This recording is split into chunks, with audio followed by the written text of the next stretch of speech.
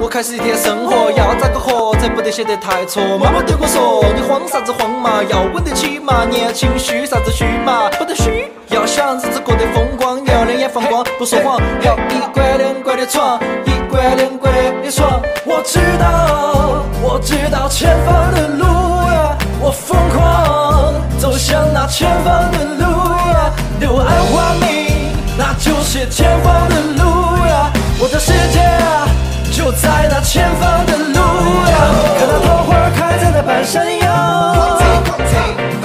看那桃花开在了半山腰，你看那桃花开在了半山腰，摇摇摇摇飘飘。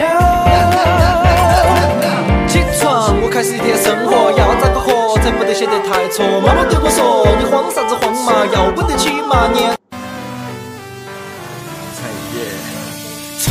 不是要我们来摆起，吃的、喝的、耍的都可以去探索去发现哪里最安逸。成都青年是绝对的动力。又是一个月，到了每月月末，工资卡的余额不知不觉哈就没得。计划到要买的球鞋、新耐克，全都打了飘了飞了，黑飞灰烟灭。哎，成都在变，工资不变，房价在涨价，我天天吃面，坐到我的公交，绕了三个荒郊，到家就，耍个通宵。妈说钱要存，我说不可能，三十岁前存钱想嘛，工资低得吓人，还是安逸不管，其他不管，老子不得去给哪个低头服软。淡淡悠悠走在人生路，依然依旧保持着态度。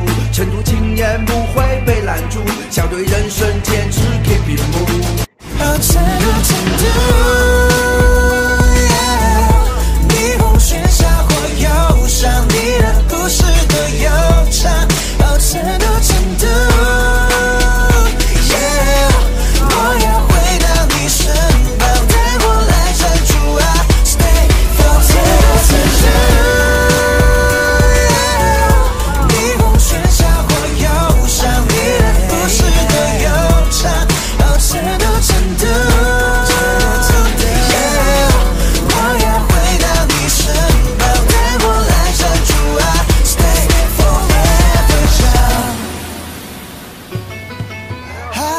Forever young。